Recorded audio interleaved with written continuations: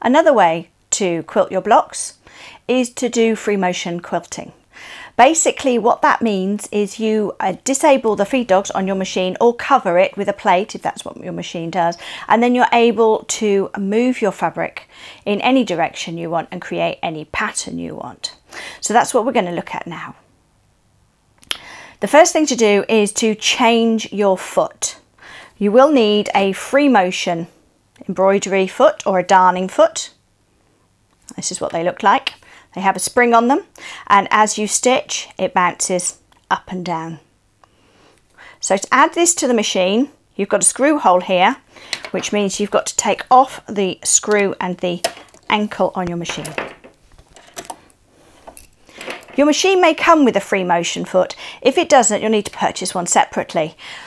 One thing that you do need to bear in mind is whether it is a short shank or a long shank machine. This is your shank on your machine. And short shank means that when the presser foot is down, that this distance from here to the screw, so from the bottom of the plate to the screw, is about an inch. If your screw is much further up your shank here, then that will be a long shank machine and you will need a different foot. You'll soon find out whether you've got the right one because it won't fit if it's wrong. So to install it, I'm going to loosen off that screw pop the screw hole underneath and just finger tighten it and then show you if I drop the needle down. This is the screw that holds the needle in place. The top of that foot must go above it so that every time the needle goes up and down that foot bounces like that. So that's okay. So I'm going to take my screwdriver. I'm going to tighten that off.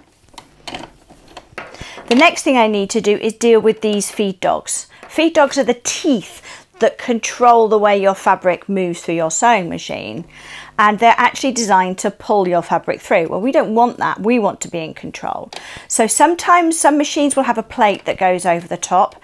This machine, like many others, actually has a switch on the back here that when I clip it, those feed dogs disappear. Now something to note, when um, you switch them back up again, a lot of machines, if I switch it back up, you'll see they don't come up straight away until you turn the flywheel. So just make sure if when you switch them back on again, that if they don't come up straight away, that you do actually move them a little. Right, so put those out of the way. And now I'm ready to do a little bit of free motion. Right, so the block I've chosen here is I have my 60 degree diamond and I have appliqued it down onto my background. I've actually chosen a green to do this because I wanted to outline my shape. So when you're doing your applique, it doesn't always have to be invisible. You can actually make a feature of it. But now what I want to do is do some designs inside these shapes as well, just to give them a little bit more interest. So I'm going to do some curves and some little perhaps um, wobbly bits, you know, we shall see. So what I'm going to do is I'm going to start in the centre of my first piece. So it's up to you how you do this and how you start. But what you do want to try and do is first of all have it on a straight stitch with the uh, needle in the centre so I'm just going to press my center point. So now the needle is in the center of my foot. Just makes it easier for me to see. And then we are going to drop the needle down and hold onto the top thread, needle up and pull, and that will actually bring my bobbin thread up onto the top. That means that it's not underneath, so it's not likely to get caught in my uh, quilting underneath and sort of tangle me up. So I place my needle into the fabric so that everything's nice and secure. And um, if I do accidentally move it, that I'm not going to end up with quite a big stitch. The next thing I want to do is do a few stitches just in the same place. That's kind of securing it. What you can also do with these two spare threads is you can actually stitch them in um, afterwards or sew them underneath and then quilt over the top. But I find with a few little stitches like that at the beginning, um, I can actually trim them and it saves me stitching bits in. So what I'm going to do with my diamond is I'm going to do some bounced curves. Now personally I find that if I'm doing uh, certain shapes and curves I can do them one way and not the other. So if I'm doing a feather I can go beautifully up one side but then I find it quite tricky to come down the other side and um, that's quite often the case with uh, us quilters. So just don't fight it all I'll do is just go back down to the bottom and then go up the other side. So I'm actually going to quilt towards me on this diamond and I'm going to go up one side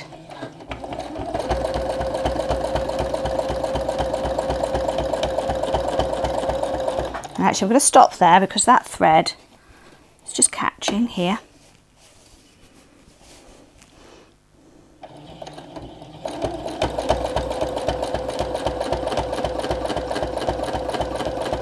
Back on itself back to the beginning. Now I'm going to do the other side and try and make them about the same size. But this is free motion, so we don't expect it to be perfect. All right, so now I've got my two side curves or my two side loops and then I'm going to go up the middle and do a large one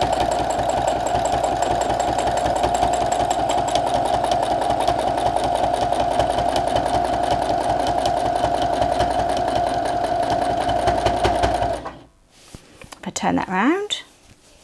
You can see we've got almost like three fingers and then I'm going to repeat it. So go along with the next diamond shape, moving it smoothly, curving round.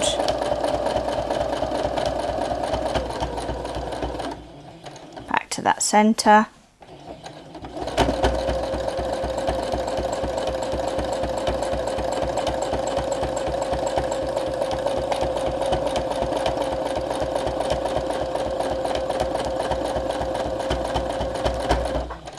Try and keep your hand movements relatively smooth. If you find that your curves are coming out a little jerky, then perhaps try straight lines or points. Go with what you enjoy doing.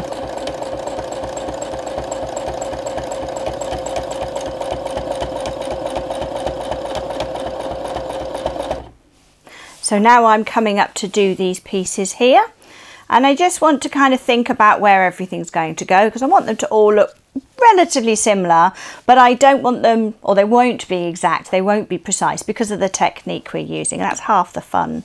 So play around with the designs as well. You could actually do something very different in here to the other ones if you wanted to. I've got my fabrics in pairs so you could choose to do a different set of quilting in each pair or a different set of quilting in each diamond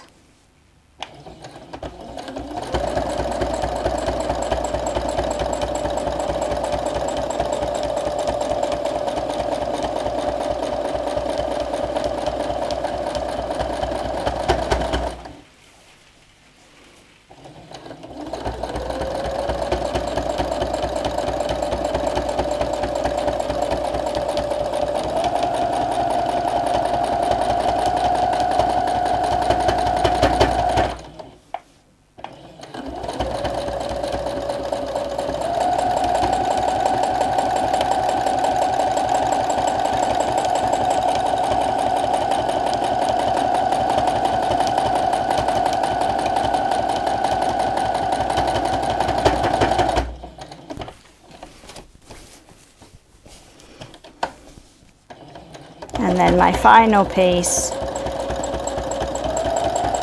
Try to keep the combination of hand movements and stitch speed or the speed at which you're pressing your foot down even. You will find one that's comfortable for you. But if you move your hands too fast you will end up with very big stitches and then if you move your hands too slowly you'll end up with very small tight restricted stitches. So just try and get a happy medium.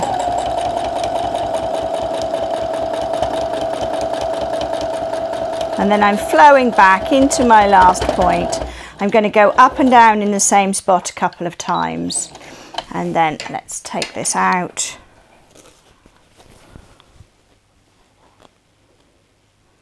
Trim the bobbin thread too. And we finished our quilted block.